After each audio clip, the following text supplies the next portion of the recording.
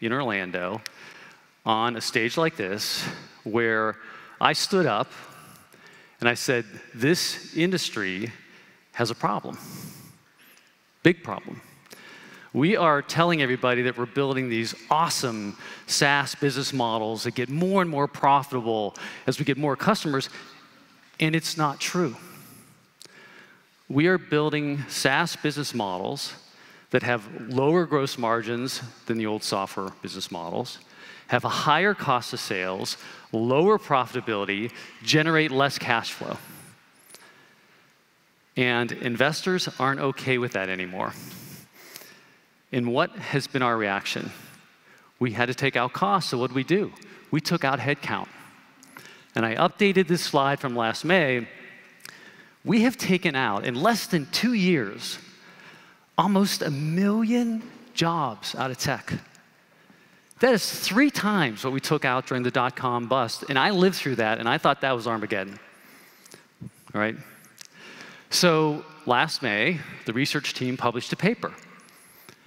And we said, look, we have proven plays that will improve the profitability of a SaaS business model. Here it is. And then we made an offer. And we said, the executive director of TSIA, who I hear is super smart and super humble, will meet with any executive team on this topic of profitable SaaS. And since then, I have met with almost 60 executive teams from all types of companies on this topic. I want to update you on the insights that we've learned. But first, I got to tell you a story about a hike. So this summer, my wife and I go to Bar Harbor, Maine on vacation. We heard it was beautiful. It is beautiful. We stayed at this uh, hotel right along the water, and every morning we'd have breakfast at the hotel, and we had the same server. Her name was Emily. She was from Ireland, working there for the summer.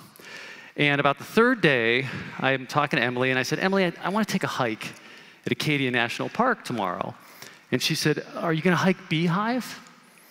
And I said, I, I, don't know. I know I want to do Cadillac Mountain, but that's like the highest point in the park. It'd be nice to have a warm up. And she says, Well, Beehive, it's lovely. So the next morning, crack of dawn, I'm at the trailhead of Beehive by myself because my wife understands the concept of vacation. And I bring up this map on my phone, and this is an application called AllTrails. People know AllTrails if you're a hiker? Yeah, all these hands go up. There's claps, there you go. So um, AllTrails is awesome, right? It tells you, shows you the path, but most importantly, it crowdsources insights on the trail. And so I'm going through the comments, and it says, hey, when you hit this fork in, in, the, in the trail, go right, because it's kind of steep, and it's easier to go up the steep part. And I'm like, okay, that makes sense, but I'm also thinking, how steep can it be? This is going to be a lovely hike, right?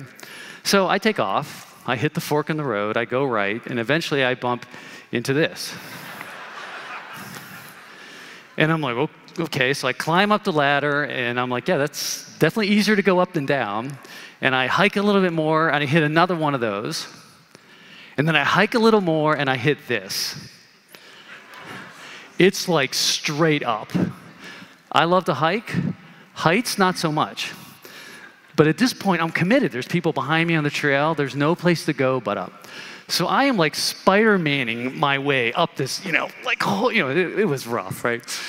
Get there, there. I get through it, get to the top, spectacular view, my, wind my way back down the backside, come back to that fork in the trail, and there's this young couple walking up. And they said, How's the trail? And I said, Well, it's challenging, it's worth it, but it's challenging. And no matter what you do, go right. I explained why. And they said, Gosh, we had no idea. Thanks so much. Next morning, back at the hotel, having breakfast. Emily comes over, pours some coffee. Hey, Emily, uh, I hiked Beehive yesterday. Oh, Emily, have you ever hiked Beehive? Oh, no, no. Why did you tell me it was lovely? Oh, all the guests say it's lovely. Now, why do I tell you that story? So, it is, it is symbolic for what is going on with this journey to profitable SaaS. Beehive is what management teams are going through. It's hard. It's making us very uncomfortable. AllTrails is what we're doing right here. We get the community together so we can learn together, makes it easier for us to navigate this. That young couple I met, that young couple, or the companies I met with some of these over the past six months, the management team is heads down. They're not reading our research, they're not coming to these conferences. That's a self inflicted wound. And who's Emily in this story? Who's Emily? Emily is that strategy consultant that your CEO hired to work on your profitable strategy. And they show up with this great big PowerPoint, right? And by the way, in that deck, all the graphs go up and to the right. Oh, revenue's going up and margins going up and profits going up. And then we get, they get done with their presentation and they say, oh, this journey to profitable SaaS, it's going to be lovely. It's not lovely. It's not lovely.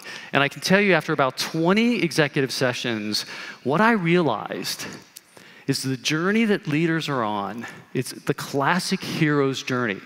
Do you know this Joseph Campbell framework? Right? So he studied all of these hero stories from cultures all over the world, and he said it's the same story again and again and again. And it starts where there's a hero who needs to go get something done, and they don't want to go. They don't want to go. And that was every company in this room before 2022.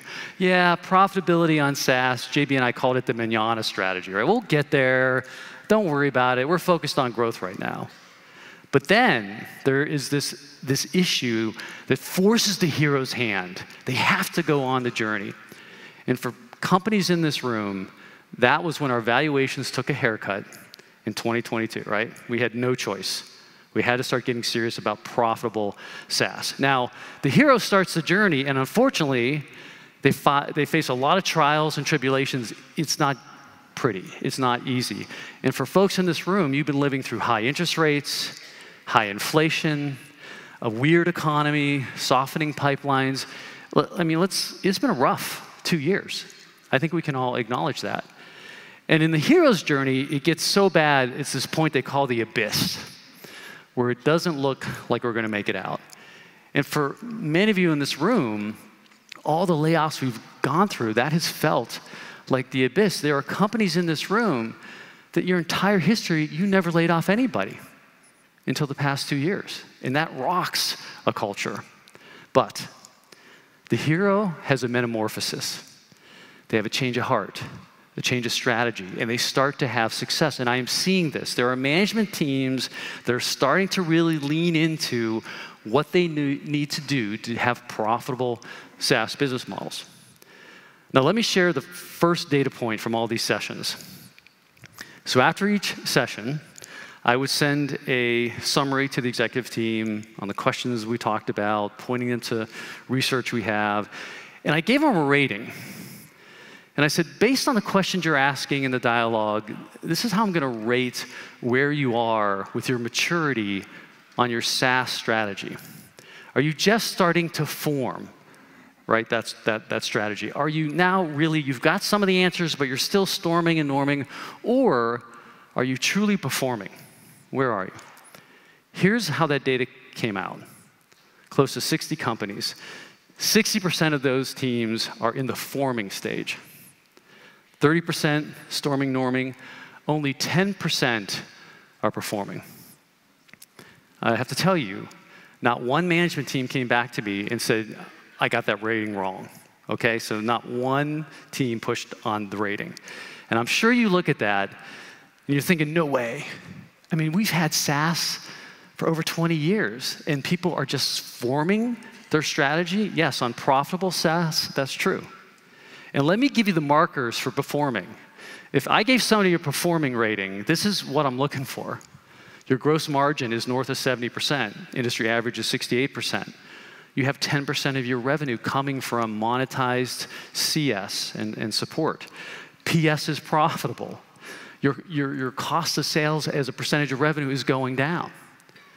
Your profitability is going up. There are very few SaaS companies that meet this criteria. If you meet this criteria for your SaaS business, grab me at this conference. I want to hear your story. I want to tell your story. I'll flip it over. In, the post session survey, I asked them what expenses they were tracking. A majority of the companies don't know how much they're spending on free services. They just don't know. So, I mentioned we put that paper out there. It listed 12 plays you can run to improve profitability. And let me share from all these sessions some of the most common plays that I heard are absolutely being run, okay? The first one is monetizing PS. Charging for professional services around SaaS, very common. Monetizing premium technical support, having a premium support offer in play, very common. Monetizing some customer success. We know that over half the industry is doing it, and for the half that's not doing it, we have you know, fresh data that a majority of those companies are leaning in saying, we've got to do it. And then we have migrating renewals away from sales. So getting sales more focused on growth, hunting new business. Channel led growth. I talked to so many companies, they're like, I got to get my partners more involved. I got to get my partners more involved in SaaS. I'm going to come back to that. And then optimizing service operations. So Jim Roth uh, from Salesforce did a great keynote here in our last conference in Orlando. Salesforce is gently bringing together their CS and SS organizations. and there's a lot of people looking, right, to figure out can we get some of those synergies? So that's very common. So there's some themes here, right? We can make money on PS. We can't afford to give all these services away for free. Sales has got to focus on growth and we need to leverage partners more. So if you're having these thoughts, then you know you're in good company. If you are not having any of these thoughts right here, at this point, you are way behind the power curve. So I want you to internalize that. Now here's plays which TSI knows will drive profitability, improve it, but I just don't see them being run a lot yet. Managed SaaS having a managed service capability to help the customer administrate your, your SaaS offer. I do see companies running it. The ones that are running it are happy with it, just not that common yet. Assigning expansion targets to customer success. How do we expand effectively the install base?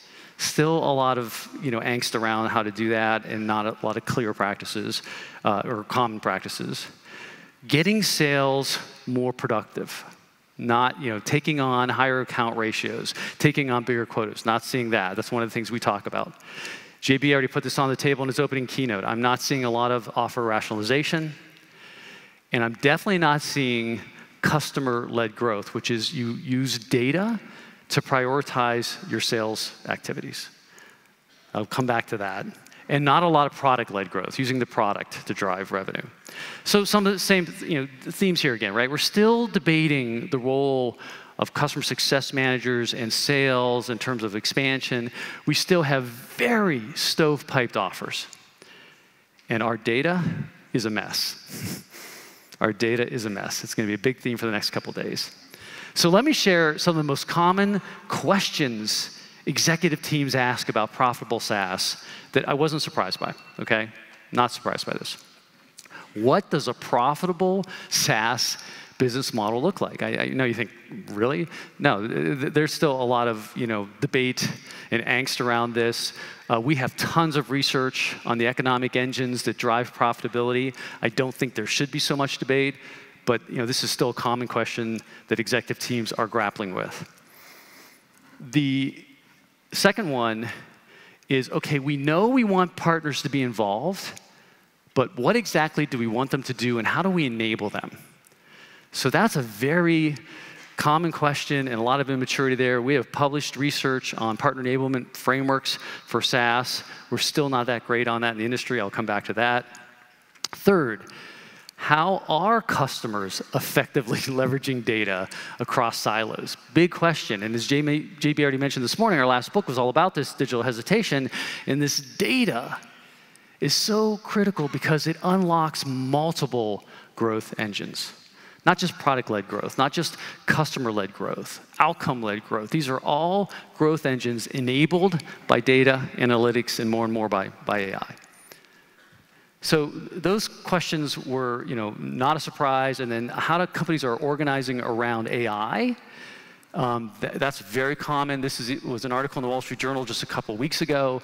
This is top of mind for a lot of executive teams. I know AI is important. I'm not sure how to organize around it. So, all good questions. Not shocked that they're on the table. Here are questions that kind of surprised me, and they were very common. Number one, how do we improve the profitability of professional services? So we've had a practice at TSIA on this topic for, you know, 17 plus years. We know exactly why an embedded professional service organization is unprofitable. The first book I wrote over 20 years ago was Building Professional Services in a Product Company. There's not a lot of mystery here. So if your PS business is upside down and you you know you have to fix that, there shouldn't be a lot of mystery there. Second question that was a surprise is what customer success activities are other companies actually monetizing? because hey, we've never monetized it. We've told, heard from our salespeople you can't monetize it. So like, oh my gosh, how's what, what's the magic there? There's tons of examples in the industry at this point in time of what people can charge for. Lots of research there. Take advantage of that. What are the right roles to have involved in a renewal? We've been renewing SaaS revenue streams for over 20 years, and we're still debating, you know, when should that be a CSM or renewal specialist? When should sales get back involved for renewal? When should they get comped for that or not? There's still, you know, a, a lot of debate there. And again, we've got a lot of research on that. Um, I think the models are, we're making them harder on, on ourselves than they need to be. How do we improve our ability to expand existing customers? So you think about that LAER model land, adopt, expand, renew. You think the expand part we'd be, have mastered at this point, right? We want to get those are the, the highest margin revenues we can get is from that existing customer. And we're still struggling with that. So, another data point here I asked post survey if you think about the big levers to improve profitability. Do you think to improve your SaaS business, is it going to be doing a better job of monetizing services? Is it migrating commercials away from sales to other, you know, more cost-effective ways to take money off the table for renewals, expansion? Or are you going to fire up these data-driven growth engines? And what was fascinating, even though that is the most immature piece of what people are doing, and even though everyone's saying, man, my data's a mess, executive teams again and again and again gravitated to this lever. And they said, I think that's where I have the most potential. Why? Why do you think? And this is not my quote, but I love it. It's easier to change bits than change atoms. It's easier to get a new piece of software, a new piece of technology, and install that. That's easier than getting my salespeople to behave differently, to getting my CSMs to have new skills, right? It's easier than breaking down silos. I mean, I'll just put a new piece of technology in, okay? Now, we're gonna have some fun because I am going to spill some industry tea. Do you know what that spill the tea means? Yeah, my wife taught me that term. Um, I'm going to spill some tea. And if you did one of these sessions with me, and right now you're like, oh my God, I thought we were under NDA. We were. We were under NDA. I'm not going to name names, but I am going to say things out loud that people don't want to say out loud, okay? Here's the first one there's a lot of fish on the menu. Still, what do I mean by that? All you legacy technology companies who the last several years have changed your pricing models, right? And you're like, look at me, I've got recurring revenues, I'm an ARR company. And underneath the covers, you have a massive install base that is still disconnected on prem. You still have some fish you got to eat. And we're not talking about that. I was surprised how much of these install bases are still traditional on prem. Second thing, there are management teams who do not know where they are going. So, this question about what does a profitable SaaS business model look like, and what Jessica just put on the table, if you're not aligned around the target results as an executive team, you're pretty much screwed coming out of the gate. And there are management teams that are very confused on what they think they're building in what they think they need to do to get profitable. The other thing is that eh, leadership teams are confused about what story to tell investors. Because before it was easy. I'm a growth stock, I'm a growth stock, I'm a growth stock. Growth stocks sell hope, right? Don't worry, it's gonna be awesome in a couple years. I'm gonna dominate, I'm gonna be the next unicorn. Value stocks sell discipline. I'm gonna be profitable. I'm not gonna miss my, my earnings. Leadership teams are confused. What story should I tell? There was one executive team I interviewed. I put them in that 10% category. They are absolutely performing. And you know the way they solved this? They said, This is our story to investors. Here's our growth target. Here's our margin improvement target. Here's our OI improvement target. We are going to basically tell both stories. We were growing, but we were going to do it profitably.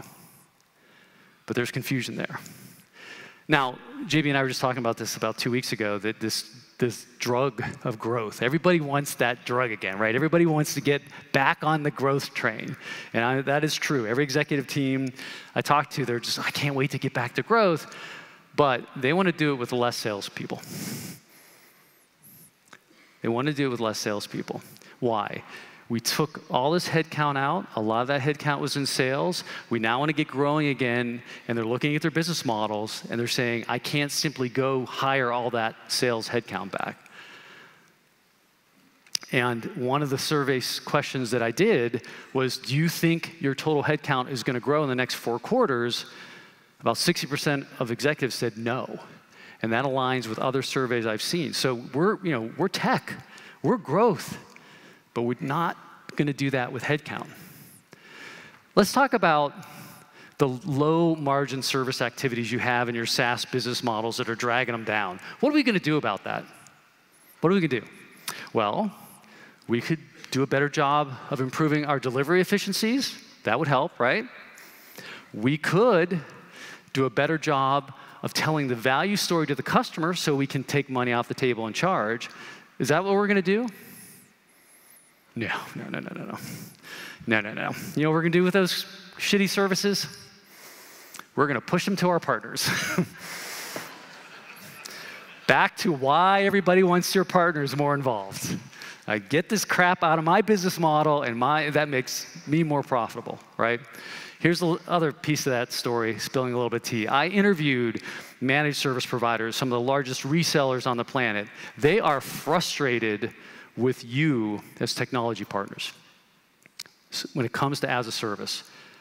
How are they going to make money around your SaaS? Are they going to be involved in the renewals down the road? And you pay me for that. You know, I was talking to one of them. They said, I'm getting all these incentives from this one technology company to move customers to as a service, but they're not telling me if when those renewals come up, those incentives are going to be there. And if they're not there, I can't make money at this. So I'm telling you right now, technology providers, partners, you need some serious therapy. You need to get in the room on a couch talking to each other because you're talking past each other right now. The other thing I'll tell you is that AI is an art project for most companies. It is an art project, and it can't be. And we'll talk about that. But uh, you know, when I test on how are you funding it, how are you prioritizing your AI opportunities, how are you getting lessons learned across, you know, pilots, a lot of crickets there. And finally, I'm going to tell you, in reality, in this industry right now, there are only two types of management teams. There are management teams that want to go on this hero's journey. They're leaning into it. They don't have all the answers right now, that's fine, but they're like, we, we know that you know what got us here is not going to be the right strategy moving forward, and they're chipping on this conversation. And then there are management teams that when I would get in these conversations, what they really wanted to do is spend 90 minutes telling me all the reasons they can't go on this journey right now. Our systems won't support it. You know, our employees aren't ready, our customers aren't asking for it, our investors won't tolerate, you know, all these reasons. And I am going to challenge every person sitting here. Before you leave Vegas, you need to figure out what type of management team you're on or working for. Because it's going to be career limiting for you if you're on the wrong one. Now, I want to end with some move forward here. Things I want you to be thinking about, things we're going to be working on, because in many ways, the journey on profitable SaaS is not over. The first thing is, we wrote a paper back in 2021 called The Have and Have Nots of the Technology Industry. I encourage you to read that. I encourage you to share that up and down the management stack because that paper outlines the attributes that winning technology companies are going to have. And that paper was spot on in 2021. It's 100% irrelevant today. The second thing I will say, and we're going to be talking about this the next two days, data is absolutely the new oil. This thing about busting silos is so important because data is going to feed this AI set of AI capabilities. We just put out paper out a couple weeks ago, the TSIA AI capabilities landscape. And the framework we're using here is not ours, it comes from the industry. We talk about AI capabilities being below the waterline. What does that mean? They're, they're becoming pretty common. At the waterline, companies are piloting, and if it's well above the waterline, that's the hype, okay? And we are committed to cut through the hype and give you visibility on what's really going on with AI capabilities, and we're gonna track it across these different areas. So what AI capabilities are actually being deployed in customer success for revenue management, et cetera. So this is a, a killer paper. Uh, take advantage of that. I've already had several conversations with members about that. We're going to start that as a catalyst to kick off our next research journey, which is going to be on how companies are deploying AI internally. That's what we're focused on. It's not, again, the stories you want to spin. Everybody in this room I know is an AI company now. I get that. I go to your websites. I'm not worried about that. I'm worried, and the research team is worried about how you are deploying it internally. And I'm, I just started this process with the help of the researchers. They're nominating uh, companies for me to talk to about specific use cases. I've done three of these. One of them was with OpenText on an education services uh, use case. It's stunning. It is stunning the cost savings, the time savings, the incremental values being unlocked in a bunch of different use cases. And my fear and the fear of the TSIA team is that if you're flat-footed on this, if you're kind of just, oh, we'll wait and see how it goes, you're going to wake up and your cost structure is going to be way out of whack. So you got to jump on this one. So I know that this is not a fun time right now in tech. I wish it was a super fun time. I wish people were just throwing money at us and, you know, we were just all back to the good old days of 10 years ago. But that's not what we're facing right now. And I'm, I'm feeling and seeing the stress in these executive teams. What's going on to make SaaS profitable and now to incorporate a whole wave of AI capabilities, we're going to have to stretch. we are going to have to get out of our comfort zone.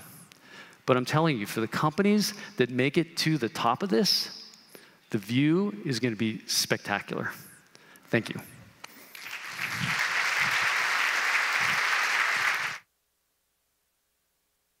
Please